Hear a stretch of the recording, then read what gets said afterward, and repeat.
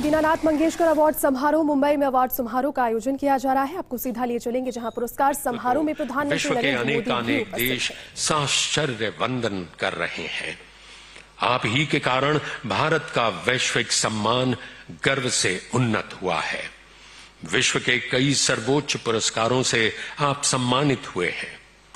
भारत रत्न सुश्री लता दीदी मंगेशकर और आपका नाता भाई बहन जैसा सत्य रूप एवं शब्दों से परे था। असामान्य एवं लोकोत्तर महामानव होने के नाते आप दोनों ने पूरे विश्व को गौरवान्वित किया है। लोक कल्याण आपका ध्यास है, भारत गौरव आपका श्वास है, निष्काम कर्मयोग आपका प्रयास है, और कृणवंतो विश्वमार्यम, आपका विश्वास है। आज चैत्र कृष्ण नवमी शुभकृत नाम संवत्सर, शके 1944 रविवार दिनांक 24 अप्रैल 2022 के मंगल दिन, मास्टर दीनानाथ स्मृति प्रतिष्ठान द्वारा सुश्री लता दीनानाथ मंगेशकर सर्वप्रथम पुरस्कार सम्मान पत्र सम्मान चिन्ह महावस्त्र के साथ आपको प्रदान करते हुए मास्टर दीनानाथ मंगेशकर प्रतिष्ठान धन्यता और कृतार्थ का संपूर्ण अनुभव कर रहा है। इति शम पंडित हृदयनाथ मंगेशकर अध्यक्ष।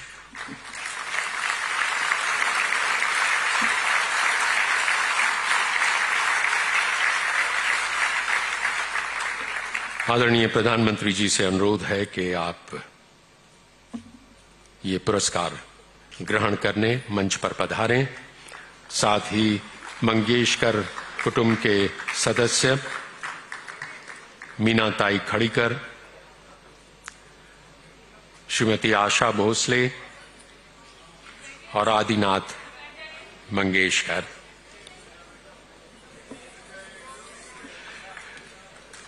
देवी और सज्जनों, आपने शायद नोट किया होगा कि शुरुआत की मंच की प्रारंभिक औपचारिकता के बाद प्रधानमंत्री जी ने ज़ोर देकर कहा था, ज़ोर देकर कहा था कि मैं नीचे बैठूँगा, मैं प्रेक्षकों के साथ बैठूँगा, क्योंकि मुझे पुरस्कार स्वीकार करना है जन सामान्य के रूप में। He didn't want to receive the award from the exalted perch of a P M but only as a common citizen इसलिए इस असाधारण अलंकरण लता दीनानाथ मंगेशकर पुरस्कार के लिए मैं अनुरोध करता हूँ सामान्य भारतीय नागरिक श्री नरेंद्र मोदी जी से कि वे ये पुरस्कार स्वीकारें।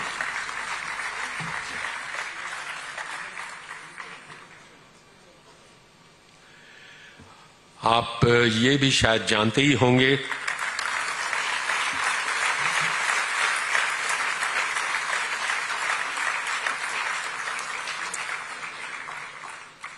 कि औपचारिक अभिवादन के अलावा हमारे प्रधानमंत्री कोई पुरस्कार स्वीकार नहीं करते। लेकिन सारे देश की दीदी भारत रत्न लता मंगेशकर के लिए उन्होंने ये अपवाद स्वीकारा है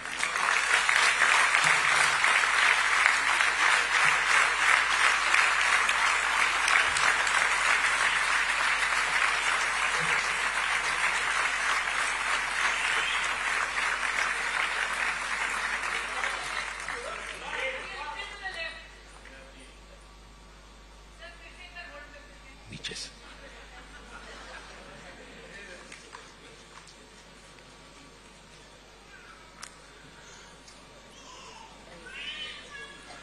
अगर यहाँ बैठे कोई फिल्मकार फ़िल्म बनाना चाहे तो शीर्षक हो सकता है, फिर से, भाई हो तो ऐसा।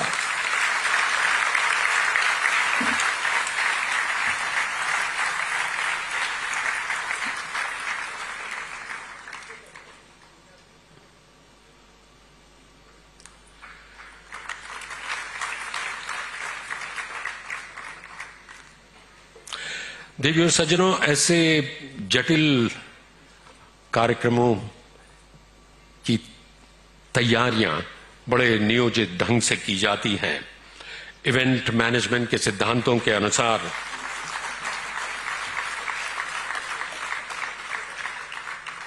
इवेंट मैनेजमेंट के सिद्धांतों के अनुसार मिनट टू मिनट सूची तैयार की जाती है। किसे कब आना है कितने मिनट तक बोलना है। लेकिन मेरा यह विश्वास है कि जहाँ आदरणीय नरेंद्र मोदी जी हो, उसमें इस, जहाँ तक उनका सवाल है, इस मिनट टू मिनट को बिल्कुल खारिज कर देना चाहिए।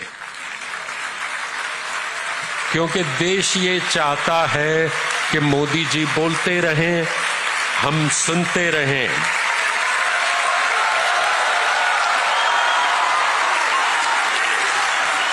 और और वो इसलिए कि जो वो बोलते हैं, वो करके दिखाते हैं। और जो वो करते हैं, वो देश के हित में होता है। देवी और सज्जनों, भारत गणराज्य के प्रधानमंत्री आदरणीय श्री नरेंद्र मोदी।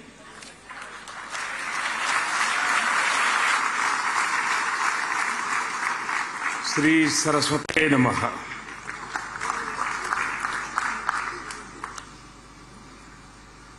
वाणी परंपरा के पुनीत आयोजन में हमारे साथ उपस्थित महाराष्ट्र के राज्यपाल श्री भगत सिंह कोश्यारी जी, महाराष्ट्र विधानसभा प्रतिपक्ष के नेता श्री देवेंद्र फडणवीस जी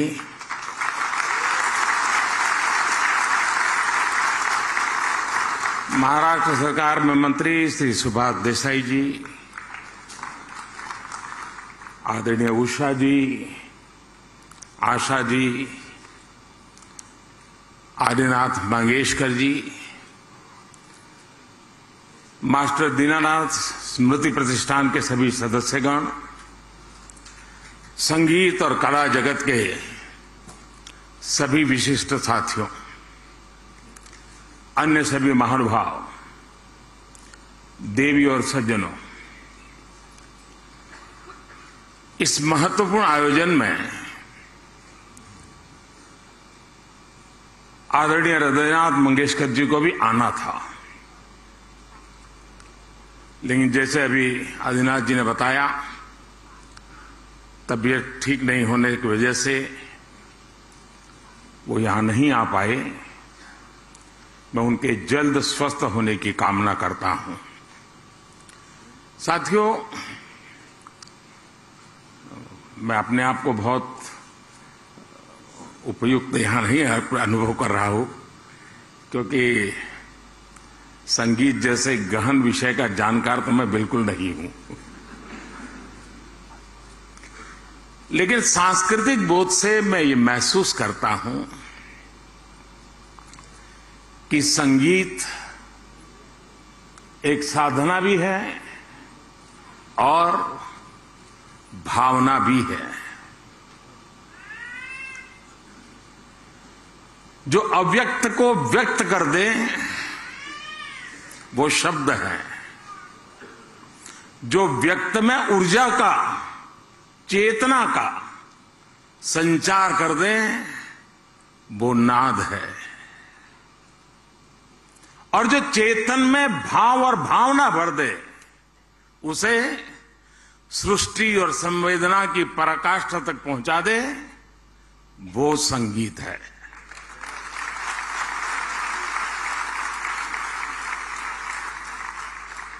आप निष्प्रभ बैठे हो, लेकिन संगीत का एक स्वर आपकी आँखों से आँसू की धारा बहा देता है।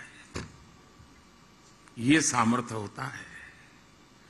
लेकिन संगीत का स्वर आपको वैराग्य का बोध करा सकता है। संगीत से आप में विरस भरता है। संगीत मातृत्व और ममता की अनुभूति करवा सकता है। संगीत आपको, राष्ट्रभक्ति और कर्तव्य बोध के शिखर पर पहुँचा सकता है। हम सब सौभाग्यशाली हैं कि हमने संगीत की इस सामर्थ्य को, इस शक्ति को लता दीदी के रूप में साक्षात देखा है। हमें अपनी आँखों से उनके दर्शन करने का सौभाग्य मिला है। और मंगेशकर परिवार, पीढ़ी दर पीढ़ी, इस यज्ञ में अपनी आहुति देता रहा है। और मेरे के लिए तो यह अनुभव और भी कहीं बढ़कर रहा है। अभी कुछ सुर्खियाँ हरीश जी ने बता दी। लेकिन मैं सोच रहा था कि दीदी से मेरा नाता कब से कितना पुराना। तो दूर जाते जाते याद आ रहा था कि शायद चार, साढ़े चार दशक हुए होंगे। सुधीर फड़के जी ने मुझे परिचय करवाया था।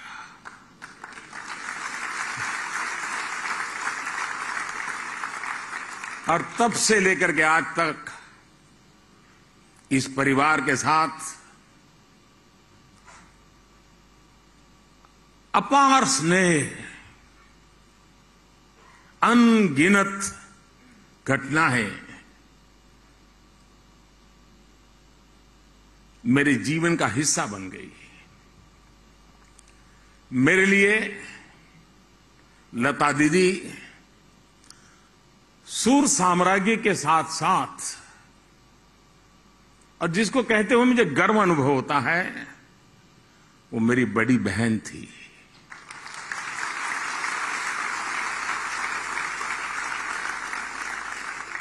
पीढ़ियों को प्रेम और भावना का उपहार देने वाली लता दीदी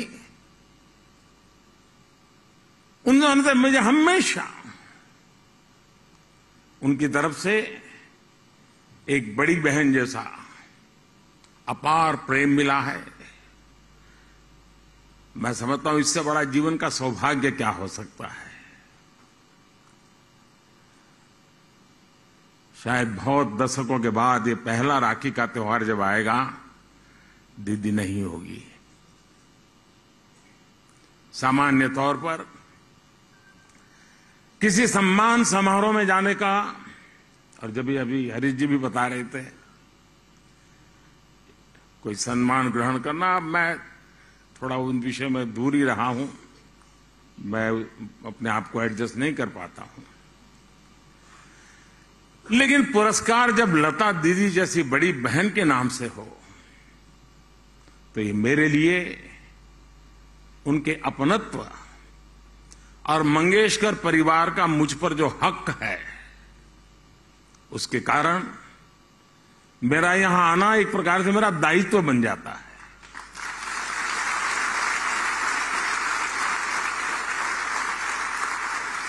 और ये उस प्यार का प्रतीक है। और जब आदिनाथ जी का संदेश आया, मैंने मेरे क्या कार्यक्रम है, मैं कितना बिज़ी हूँ, कुछ पूछा नहीं। मैंने कहा, भैया, पहले हा कर दो। मना करना मेरे लिए मुमकिन ही नहीं जी। मैं इस पुरस्कार को सभी देशवासियों के लिए समर्पित करता हूँ।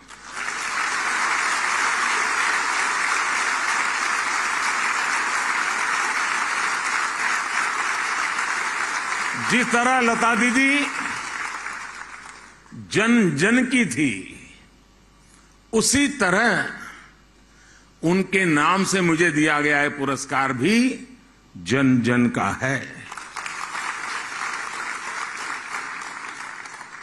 लता दीदी से अक्सर मेरी बातचीत होती रहती थी। वो खुद से भी अपने संदेश और आशीर्वाद भेजती रहती थी। उनकी एक बात,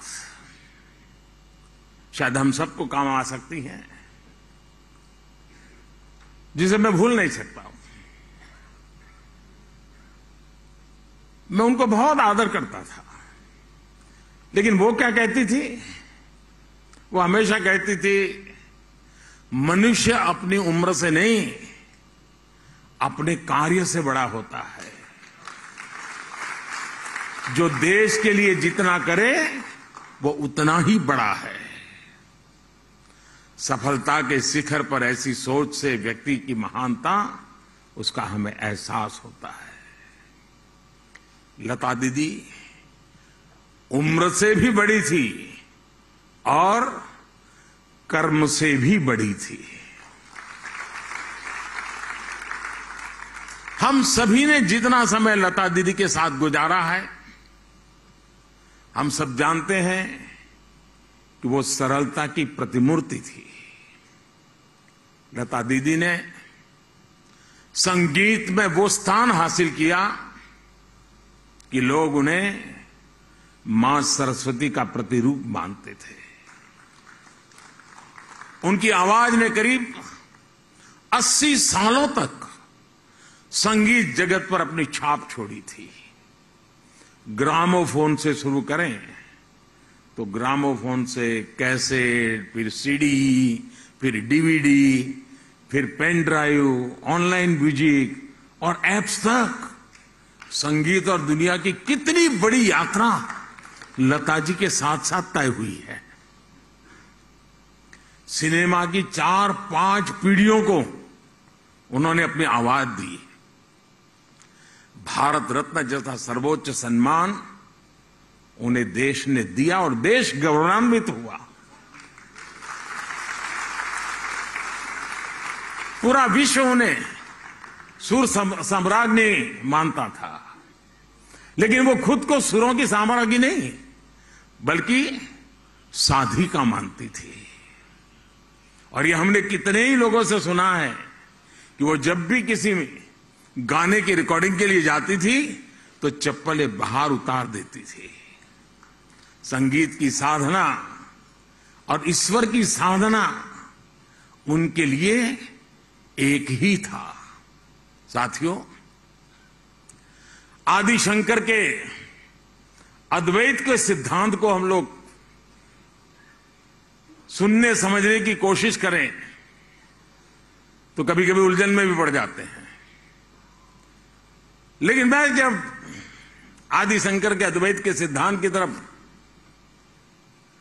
सोचने की कोशिश करता हूँ तो अगर उसको सरल शब्दों में मुझे कहना है, उस अद्वैत के सिद्धांत को ईश्वर का उच्चारण भी,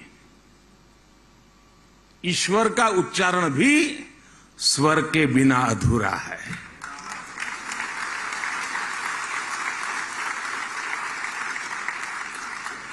ईश्वर में स्वर समाहित है।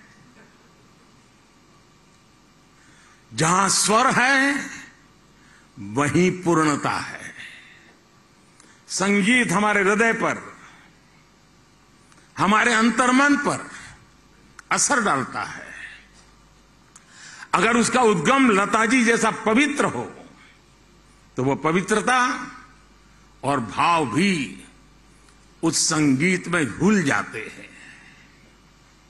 उनके व्यक्तित्व का एक हिस्सा हम सब के लिए और खासकर युवा पीढ़ी के लिए एक प्रेरणा है। साथियों लता जी की सशरीर यात्रा एक ऐसे समय में पूरी हुई जब हमारा देश अपनी आज़ादी का अमृत महोत्सव मना रहा है।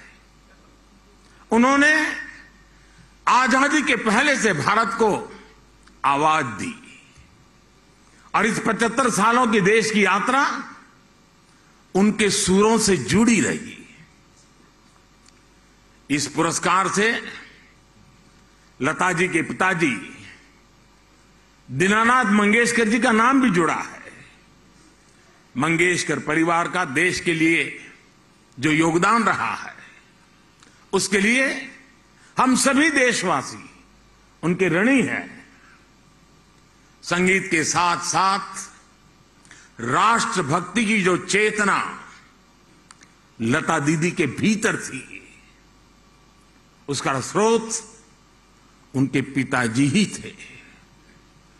आज़ादी की लड़ाई के दौरान शिमला में ब्रिटिश वायरस के, वायसराय के कार्यक्रम में दीनानाथ जी ने वीर सावरकर का लिखा गीत गाया था। ब्रिटिश वायसराय के सामने ये दीनानाथ जी ही कर सकते हैं और यूजुक में कर सकते हैं। और उसकी थीम पर प्रदर्शन भी किया था। और वीर सावरकर जी ने यह गीत अंग्रेज़ी हुकूमत को चुनौती देते हुए लिखा था। ये साहस, ये देशभक्ति दीनानाथ जी ने अपने परिवार को विरासत में दी थी लता जी ने संभवतः कहीं एक बार बताया था कि पहले वो समाज सेवा के ही क्षेत्र में जाना चाहती थी। लता जी ने संगीत को अपनी आराधना बनाया, लेकिन राष्ट्र प्रेम और राष्ट्र सेवा उनके गीतों के ज़रिए भी प्रेरणा पाती गई। छत्रपति शिवाजी महाराज पर वीर सावर जी के जी का लिखा गीत, हिंदू नरसिम्हा हो। हिंदू नरसिम्हा हो या समर्थ गुरु रामदास जी के पद हो। लता जी ने शिव कल्याण राजा की रिकॉर्डिंग उन्हें अमर कर दिया। आए मेरे वतन के लोगों और जय हिंद की सेना। ये वो भाव पंक्तियाँ हैं जो देश के जन जन की जुबा पर अमर कर दी। उनके जीवन से जुड़े ऐसे कितने ही पक्ष हैं। लता दीदी और उनके परिवार के योगदान को भी अमृत महोत्सव में हम जन जन तक लेकर जाएँ, ये हमारा कर्तव्य है। साथियों, आज देश एक भारत श्रेष्ठ भारत के आत्मविश्वास के साथ आगे बढ़ रहा है। लता जी, एक भारत श्रेष्ठ भारत की मधुर प्रस्तुति की तरह थी। आप देखिए, उन्होंने देश की तीस से ज़्यादा भाषाओं में हज़ारों गीत गाए। हिंदी हो, मराठी हो, संस्कृत हो, या दूसरी भारतीय भाषाएँ। लता जी का स्वर वैसा ही हर भाषा में गुला हुआ है। वो हर राज्य, हर क्षेत्र में लोगों के मन में समाई हुई है। भारतीयता के साथ संगीत कैसे अमर हो सकता है, ये उन्होंने जी करके दिखाया है। उन्होंने भगवत गीता का भी सस्वर पाठ किया और तुलसी, मेरा, संत ज्ञानेश्वर और नरसिंह मेहता के गीतों को भी समाज के मन मस्तिष्क में घोला। रामचरित मानस की चौपाइयाँ से लेकर बापू के प्रिय भजन, वैष्णव भजन तो तेने रे कहिए। तब सब कुछ लता जी की आवाज़ से पुनर्जीवित हो गए। उन्होंने तिरुपति देवस्थानम के लिए गीतों और मंत्रों का एक सेट रिकॉर्ड किया था, जो आज भी हर सुबह वहाँ बजता है। यानी संस्कृति से लेकर के आस्था तक, पूरब से लेकर के पश्चिम तक, उत्तर से दक्षिण तक लता जी के सुरों के, पूरे देश को एक सूत्र में पिरोने का काम किया। दुनिया में भी वो हमारे भारत की सांस्कृतिक राजदूत थी। वैसा ही उनका व्यक्तिगत जीवन भी था। पुणे में उन्होंने अपनी कमाई और मित्रों के सहयोग से मास्टर दीनानाथ मंगेशकर हॉस्पिटल बनवाया, जो आज भी गरीबों की सेवा कर रहा है। और देश में शायद बहुत कम लोगों तक ये चर्चा पहुँची होगी, कोरोना कालखंड में। देश की जो इन्हीं चुनी अस्पतालें जिन्होंने सर्वाधिक गरीबों के लिए काम किया, उसमें पुणे की मंगेशकर अस्पताल का नाम है। साथियों, आज आज़ादी के अमृत महोत्सव में देश अपने अतीत को याद कर रहा है और देश भविष्य के लिए नए संकल्प ले रहा है। हम दुनिया के सबसे बड़े स्टार्टअप इकोसिस्टम में से एक है। आज भारत हर क्षेत्र में आत्मनिर्भर बनने की ओर आगे बढ़ रहा है। विकास की ये यात्रा हमारे संकल्पों का हिस्सा है। लेकिन विकास को लेकर भारत की मौलिक दृष्टि हमेशा अलग रही है। हमारे लिए विकास का अर्थ है सबका साथ, सबका विकास, सबका विश्वास और सबका प्रयास। सबके साथ और सबके लिए विकास के इस भाव में वसुधैव कुटुंबकम की भावना भी शामिल है। पूरे विश्व का विकास, पूरी मानवता का कल्याण, ये केवल भौतिक सामर्थ्य से हासिल नहीं किया जा सकता। इसके लिए ज़रूरी होते हैं मानवीय मूल्य। इसके लिए ज़रूरी होती है आध्यात्मिक चेतना। इसलिए आज भारत दुनिया को योग और आयुर्वेद से लेकर पर्यावरण रक्षा जैसे विषयों पर दिशा दे रहा है। मैं मानता हूँ, भारत के इस योगदान का एक अहम हिस्सा हमारा भारतीय संगीत भी है। ये ज़िम्मेदारी आपके हाथों में है। हम अपनी इस विरासत को उन्हीं मूल्यों के साथ जीवंत रखें और आगे बढ़ाएँ और विश्व शांति का एक माध्यम बनाएँ, ये हम सबकी ज़िम्मेदारी है। मुझे पूरा विश्वास है। संगीत जगत से जुड़े आप सभी लोग इस ज़िम्मेदारी का निर्वहन करेंगे और एक नए भारत को दिशा देंगे। इसी विश्वास के साथ मैं आप सभी का हृदय से धन्यवाद करता हूँ। मंगेश्वर